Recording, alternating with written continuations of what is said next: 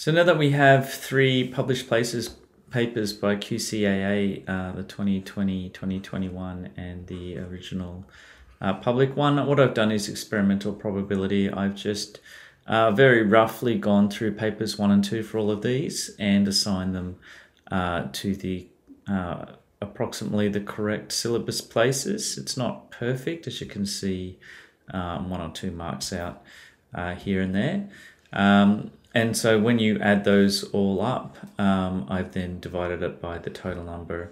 And you can see that uh, for these ones, a huge part, uh, usually about 15% of any exam, has the dissociation constants and has uh, the reactions. So just the simple reactions of all the different functional group ones, uh, as well as the reactions uh, and naming for those and the reactions and naming for the biomolecules, so carbohydrates, proteins, etc.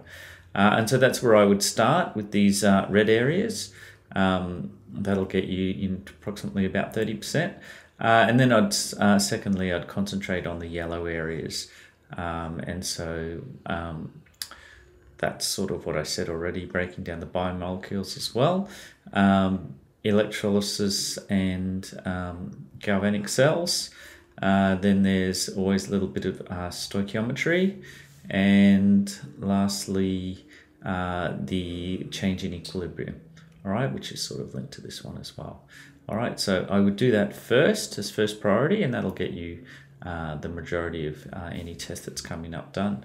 Uh, if you're looking for 100%, um, I would just basically learn everything because uh, even if they, it is nasty and you do end up getting a macromolecules uh, question, it might only be worth two or three marks. But if you're trying to top the state, I guess that's what you have to do. Okay, so it's 80% of the marks with only 20% of the effort. But if you want to get that extra 20, put yourself in that extra top 20%, maybe that's the 80% effort. Okay, um, and so uh, in order to deal with those two, those red ones, um, I have, it's a little bit rushed, but I have been updating it with the corrections uh, to this. I sort of rushed the answers a bit too much and got this out quite quickly within a day or two actually. So I sort of crammed uh, these videos out quite recently in order to be ready for your mocks.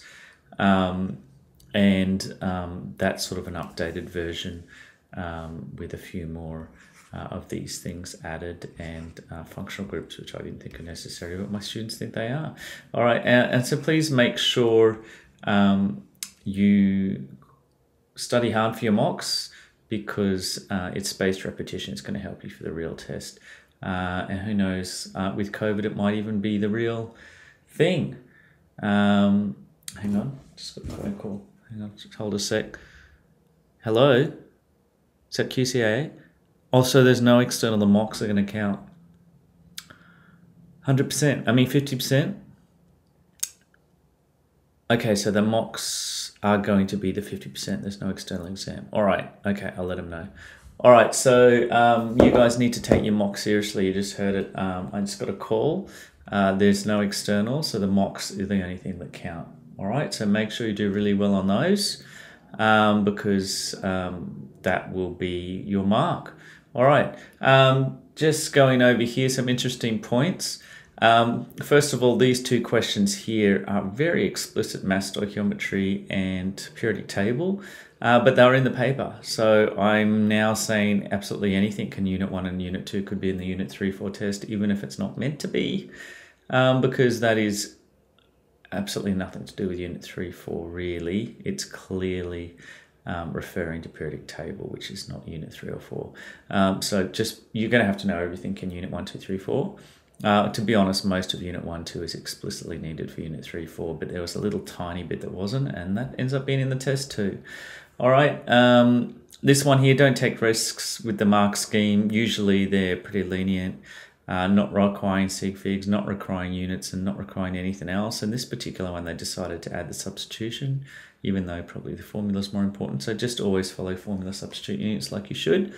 Um, and lastly, if you look at this, this is um, the this is quite a detailed one. Uh, if you have to draw a graph, you need to be very very specific. Now I have taught. Um, I was going for these rules of thumb, which uh, seem to cover you for any every mark scheme I've come across so far. Uh, so the weak base, uh, a colleague has gone to 12.5. Um, he says it's slightly better, but this is still okay. Uh, and this should, this in his opinion, this still does cover for you every um, question that he is aware of as well. So 10.1 uh, for the weak base. Um, so I would have started uh, 10 plus or minus 1, I should say, sorry. So 9 to 11. Can't go below 10 because the pKa is 10 at exactly 10 mils because it's equal volume, so it'll be 20 is the equivalence point. Uh, and if you do a negative log of uh, 0.1, uh, you won't go below 1, so you shouldn't go below 1 there either. Uh, and so um, that one was uh, a little surprising on how much detail, perfect detail. So there was quite a few calculations and understanding that goes into that, probably worth a lot more than three marks actually. And that's it. So if you have any other um, reflections on the test that uh, surprise you or concern you, please put in the comments below um, and I'll respond to those. All right, all the best.